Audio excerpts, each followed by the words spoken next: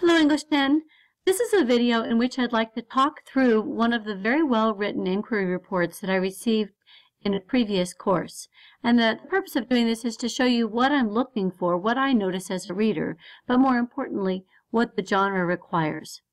This is a report on South Korean women's obsession with beauty and the measures that they will go to in order to be beautiful and why that's important in their society. So it starts off with a unique title, The Life of Beauty, and gives the context, the status quo, very quickly. South Korea has an insatiable appetite for the perfection of beauty, laden with innumerable clinics to satisfy customer appeals to their natural appearance. The perfect body is within one's reach. So the status quo is stated right away. This is stating the conclusion of the inquiry as the introduction.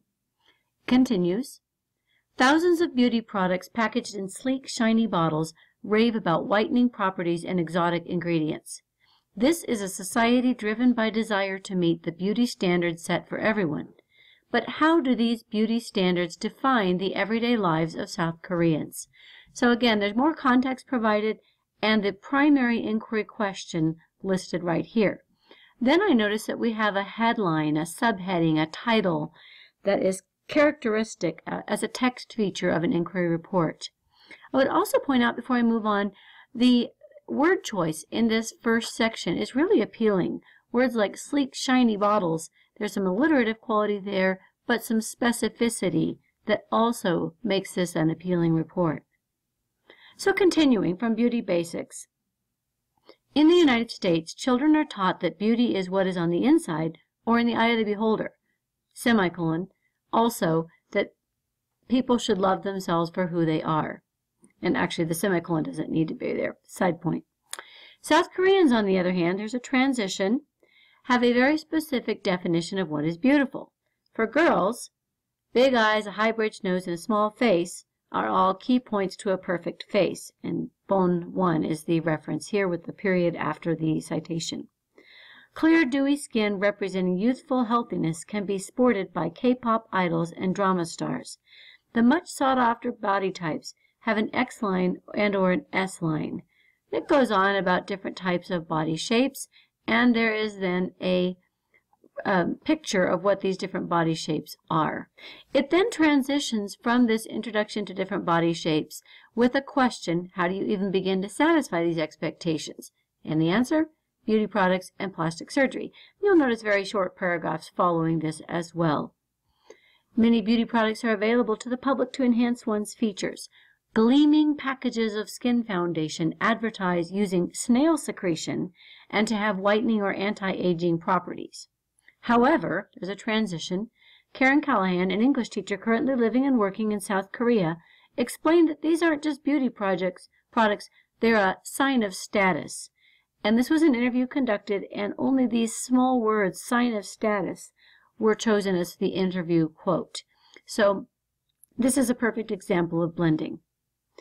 These products, however, aren't the only rage currently creating a beauty uproar. So there's a nice transition talking about these types of packaging skin foundations to another type of beauty intervention. And she continues, Plastic surgery takes the cake when it comes to ultimately obtaining the body one desires.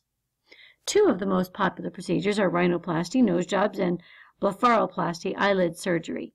Double eyelid surgery is so common among South Korean women that to most people it isn't even considered a surgical procedure. When it comes to having big eyes, most Westerners think that Asians want to look more Western. However, there's a transition here, many more variables come into play than just that.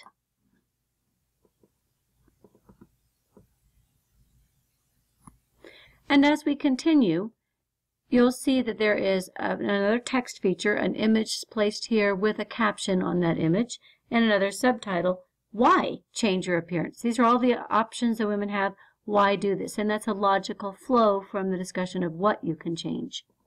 And she continues, If having surgery meant getting a much awaited career break, would it be worth the hassle? Some see getting double eyelid surgery as a rite of passage, while others feel pressure to get the procedure done because it's a family expectation. Most would think that family is supposed to love and accept all members for being themselves. This is just what Annie Kim thought, Okay, so right now we're transitioning to a specific human being's example, a specific experience with our topic. And then we're going to go from there into some quotations. Telling the story. However, the summer before entering college, Kim's mother thought it, quote, was the prime time to get the the surgery. And she uses here brackets to show the word that she's using of clarification, what kind of surgery.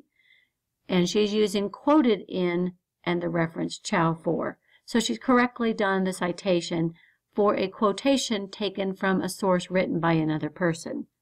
She continues with the quotation. She felt that, quote, as a mother, she was supposed to encourage her and love her. No matter how Kim is, she's supposed to be the one who says Kim's beautiful. Again, she's using brackets to clarify and make the sentence blended into her own text. Then she transitions. Not everyone wants a double eyelid procedure for cosmetic appeal. Others, like Jiwon Kim, had more serious health concerns for going under the knife.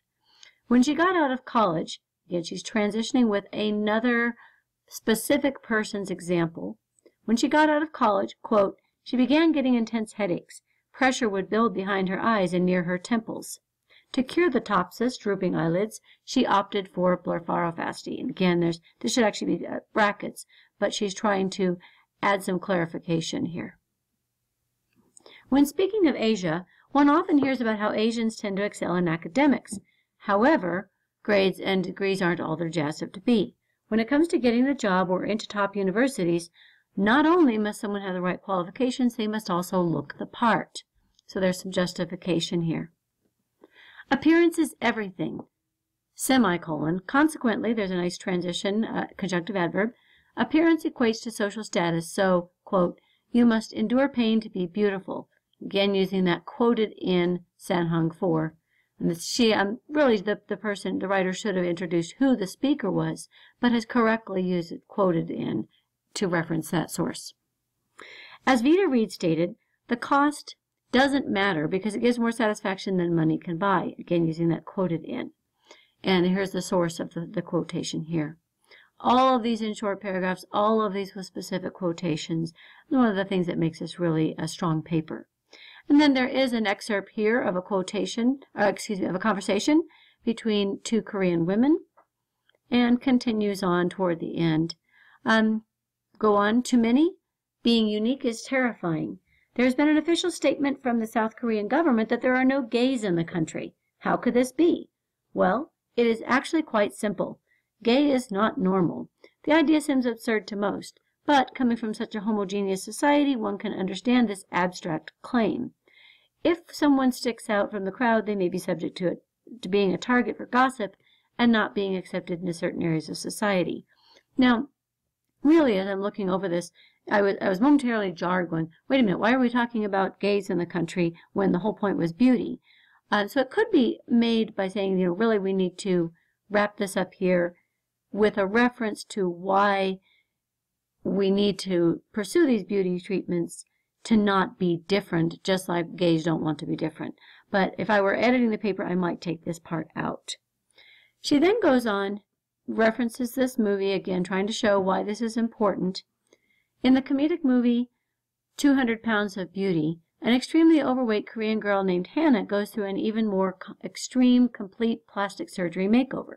The company works for, Hannah works for, simply takes advantage of her beautiful voice but refuses to show her to the public.